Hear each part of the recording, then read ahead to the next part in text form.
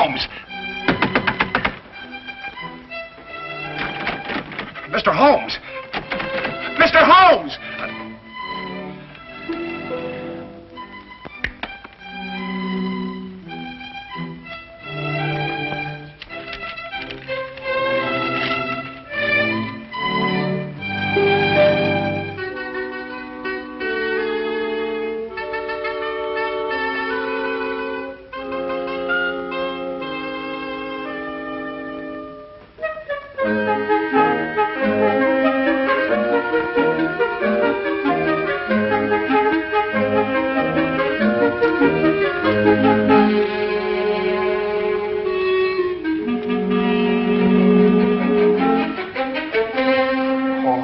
May the saints above see fit that he comes back in time.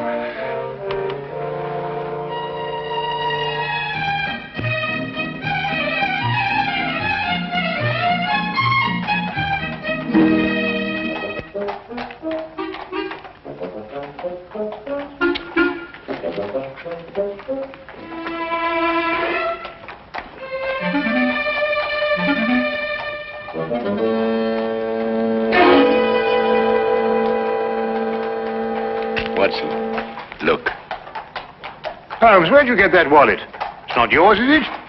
Oh, no, it isn't. Uh, but would you believe me if I told you I lifted it from a pickpocket? No. You what? Yes. He lifted it from that gentleman over there, and as he passed me in full flight, I lifted it from him. Well, don't you think it'd be good to give it back to the owner before he leaves? Ah, better than that. I'll place it back in his pocket without him even being aware that it was taken in the first place. Oh, Holmes. Ah, but this is far harder than lifting a wallet and requires diligent training. Now, watch me closely, Watson.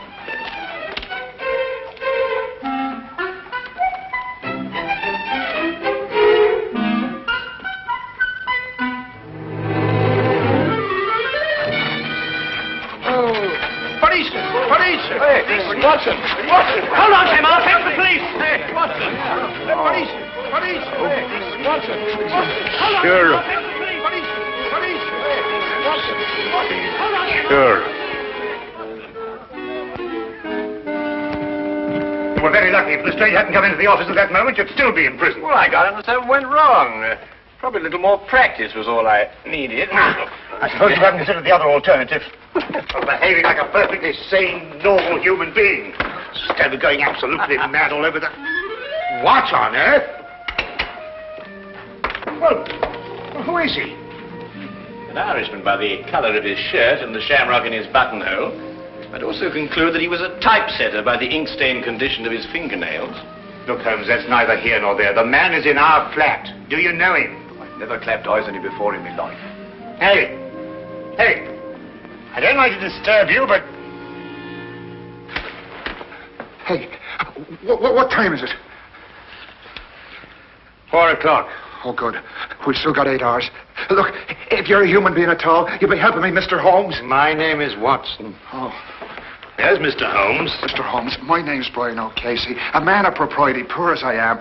Oh, and mother, forgive me. I, I wouldn't be breaking in here this way at all, only I'm the most desperate of men. Yes, yes. So I gathered from your note, Mr. O'Casey. You obviously shoved it under the door, ran away, and then returned, fearing I might have overlooked it, eh? Oh, well, the cat might have run off with it.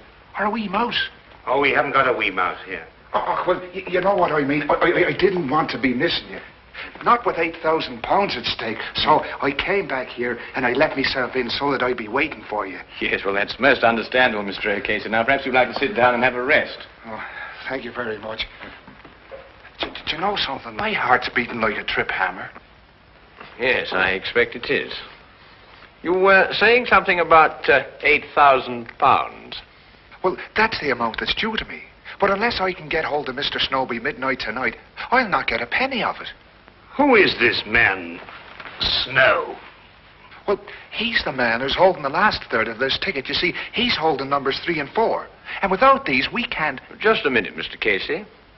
Uh, I realize that time is of the essence, and I should very much like to help you indeed.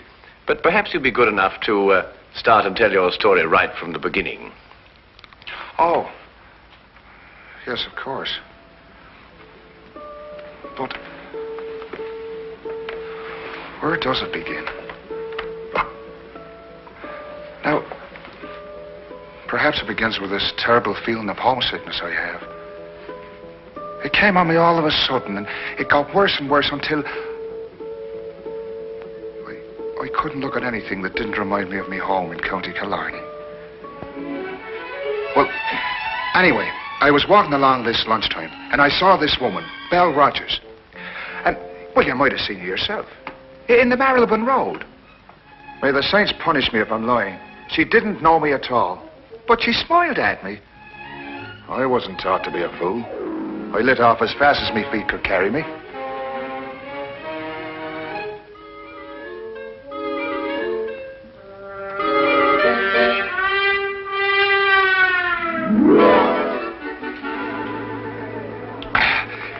Another glass of stout, if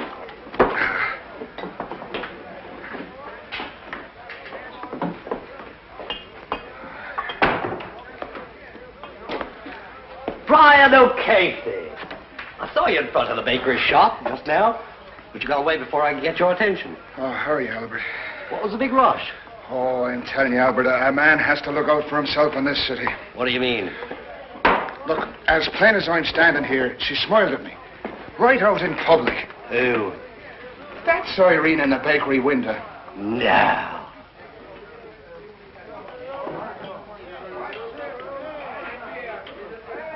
Twice. What's the name? Well, how the devil would I be after knowing that? You mean you didn't find out? Well, can't you see, man, that's exactly what you wanted me to do. Oh, I find good luck. Good luck, you say. Huh. Now, look here, Albert Snow. I, I, I, I, you don't mean any disrespect to your country, but the fact is, I've been saving me money for one reason only. And that's to get back to Ireland as soon as possible. And, and, and no temptress with a honey tongue is going to flamboozle me out of it. O'Casey, you may be doing the poor girl an injustice. Ah, but look, the, the, the fact is that she smiled at a perfect stranger. And in a certain way. Now, look, no woman is going to do that unless she's interested in getting a poor fool's money. Now, stay close by me. She's followed me here. Oh, there you are. I didn't think you'd run off when I smiled. What, what, what do you want? What do you want with me? It's in the window you belong. I only want to talk to you. Ask her to sit down. But, but look, this is no place for a woman. This is a tavern, you know. You'll ruin your reputation here. People won't buy the cakes you make. I'll only be a moment. Right here, Miss, uh, Rogers. Rogers. Rogers. Now, there's a name for you. Beautiful. My name is Snow. Albert Snow. This here's my friend, Mr. Brian O'Casey. How'd you do? Come on, Brian, sit down. Oh. All right.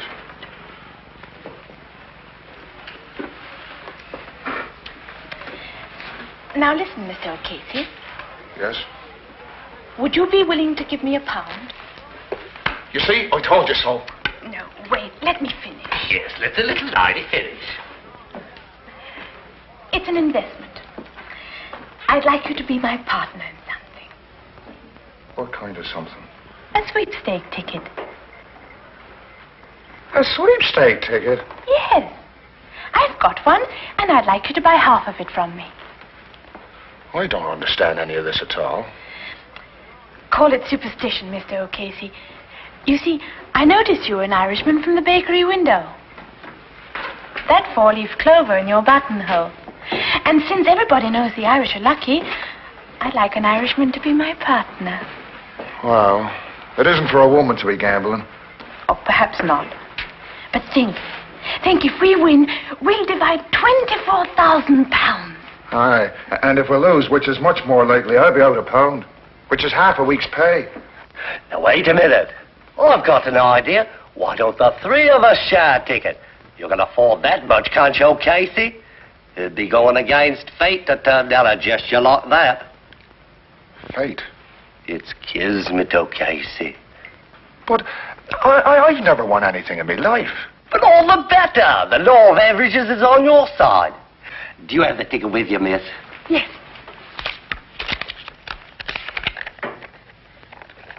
One, six, six, three, four. Does that sound like a lucky number, or doesn't it?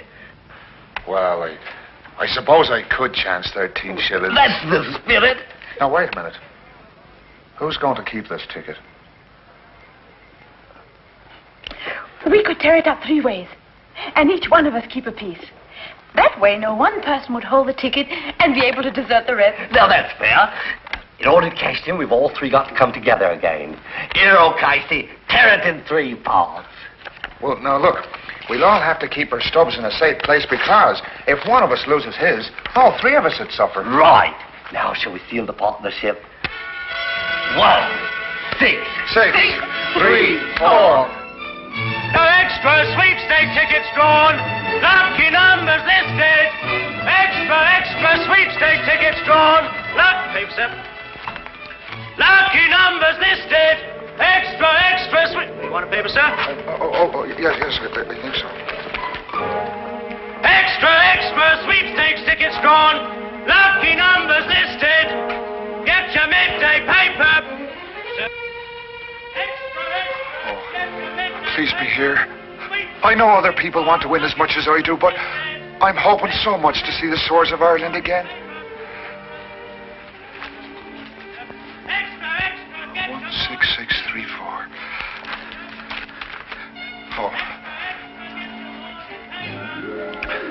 Sir.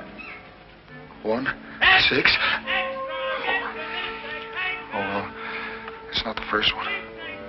Oh well, maybe it'll be the second.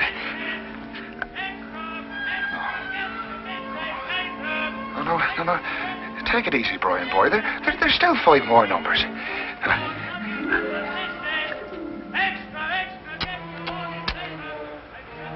Oh,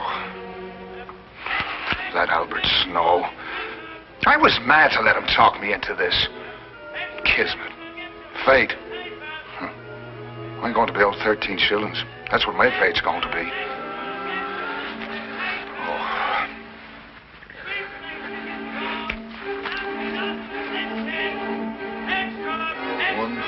Six, six, three, four. That's the number. That's, that's a number. It's, it's mine. It's mine. The sweepstake money's mine. Ah, ah, ah. Sweepstake money's mine. It's mine. Oh.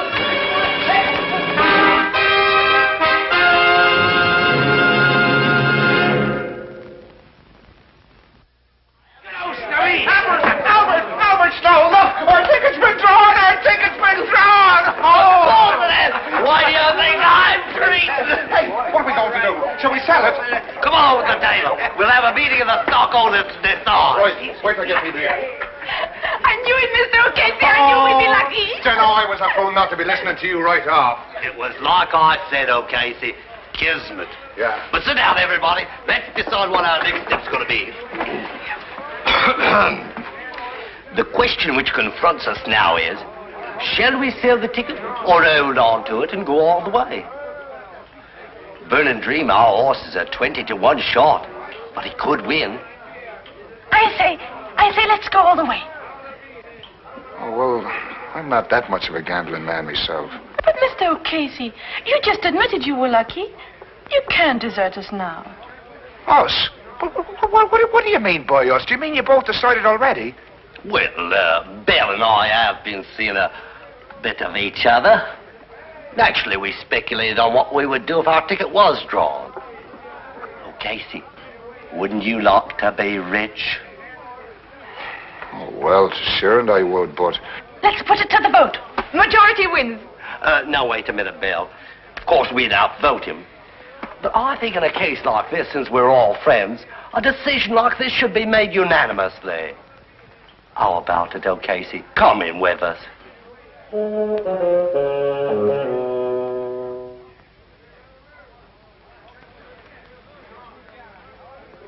A burning dream.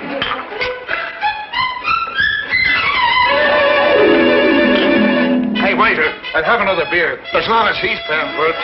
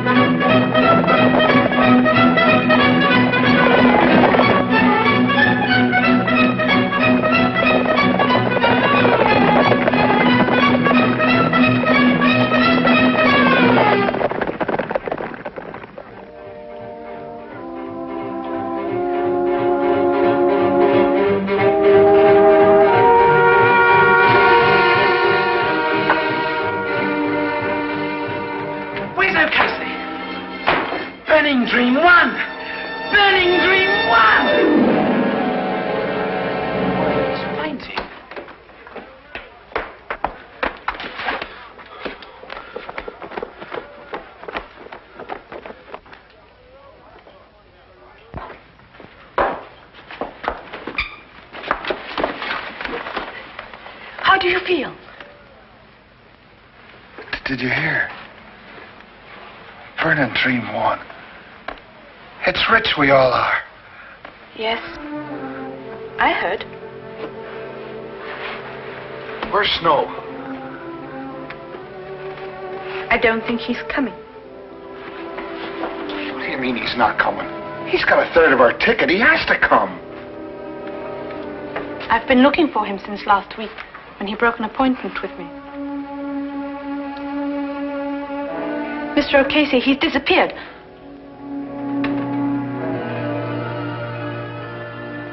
Disappeared. Well, that was ten days ago, Mr. Holmes. And disappear he has. Right off the face of the earth. And a third of the ticket along with him. I see. And, and now you only have until uh, midnight to find him, eh? Well, that's when the ticket becomes invalid. At midnight tonight, on the dot. Yes, yes. Well, that's serious indeed. Hmm, I should say so. Well, look, do you think you can do something to help us? I was told if anyone could perform a miracle, 'twas you. Well, that's a little exaggerated, but I'll do my best. Uh, where can I get in touch with you, Mr. Casey? Well, you'll be finding me at the Golden Coach Inn tonight. Miss Rogers and I decided to stay there until closing time, in case Albert should turn up. Oh, good, good. Well, I'll, I'll look for you there, then. Right, thank Yeah. you very much.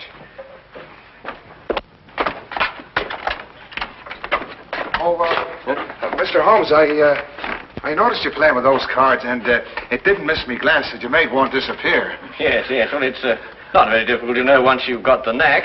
Oh, I imagine not. Only, uh, I reckon the lights ought to be kind of low because uh, I saw you put one uh, right there. Oh, yes, yes, that's right. Yes, well, uh, well, a good day, Mr. Casey. Good day, Mr. Holmes, sir.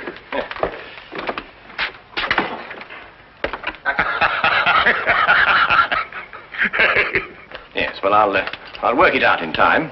Why don't you give it up altogether? I was referring to the disappearance of uh, Mr. Snow. Oh. Where are you going? We are going to the baker's shop to see Miss Rogers, Watson. About what? It's almost five o'clock, Watson. We have just seven hours until midnight.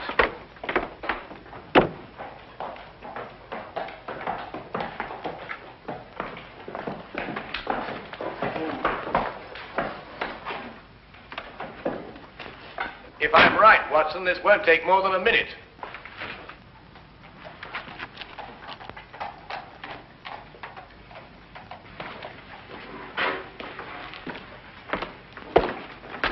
Good afternoon. I'd like to speak to Miss Rogers. Is she here? She left this morning. Oh? Why? Don't ask me. When I arrived, she was gone. There was only a note from her saying she'd taken one of the 12 layer cakes, which she would pay for in the morning. Aha. Was it by any chance a white cake? One of my very best. Hmm. Thank you very much for the information. Good afternoon.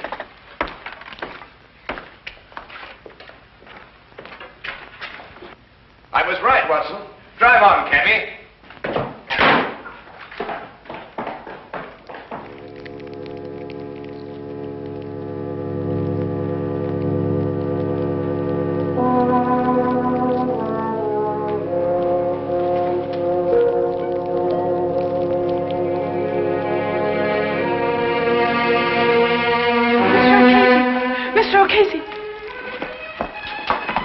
Oh, here. No, take it easy. Come on. Sit yourself down. It's all right. Oh, what's the matter? What's happened? The police. They found his coat in the river. Albert's? Yes, it was all bloodstained and there was a bullet hole in it. Oh, no. And the ticket's somewhere at the bottom of the river.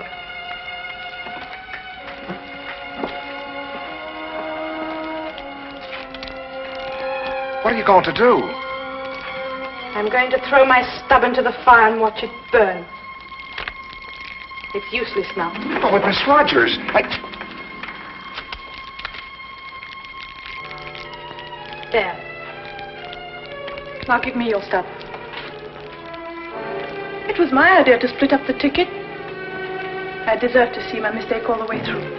You may as well, Mr. Casey. With Miss Rogers' stub destroyed, yours, I'm afraid, has no value.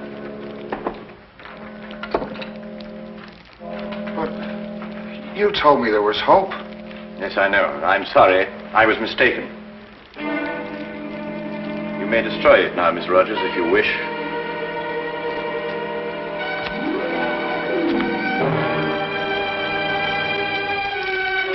Now it's all finished and done with.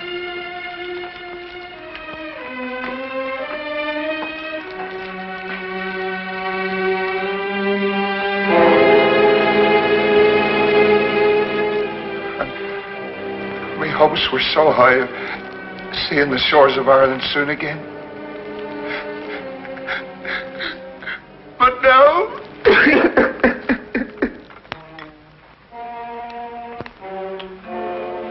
Yes, yes, perhaps a little tea would improve your spirits, eh? I can still see the picture of those two at that inn. Take me a long time to get over that, Holmes. Oh, I think you'll get over it sooner than you imagine.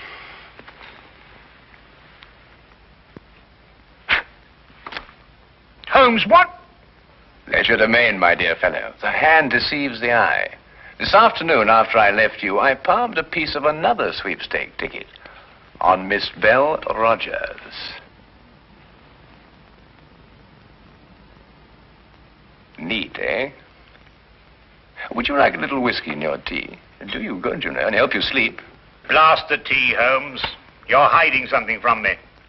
Well, nothing really, except that it occurred to me that Snow and Belle Rogers had contrived to cheat O'Casey out of his money. I was absolutely certain of this when we visited the baker's shop, and I found out that she had taken a large white cake. Well, what's that got to do with anything? A large white cake, very appropriate for marriage, don't you think, Watson? You think they were married? Or about to be. Yes, but that still doesn't tell me what kind of a scheme they had. Well, it was really quite ingenious. Snow would go into hiding, and at the crucial moment give the impression that he'd been murdered.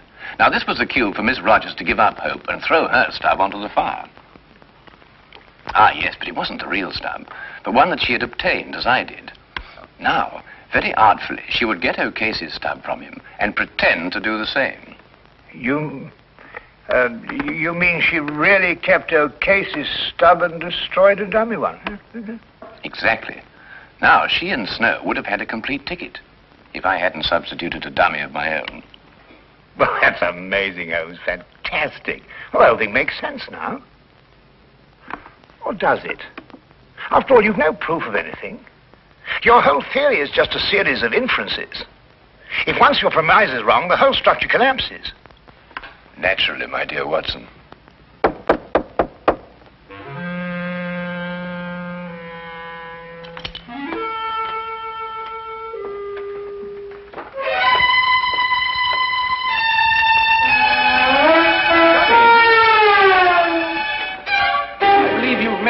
Rogers, and this is the missing Mr. Snow. I think you'd better fetch your Casey now, Watson. I can't predict what his feelings will be when he sees you, but you know what Irish tempers are. Why, say, Holmes, Yes? don't you think that Mr. O'Casey's third share is worth at least half? Oh, yes. Yes, quite right, Watson. At least a half.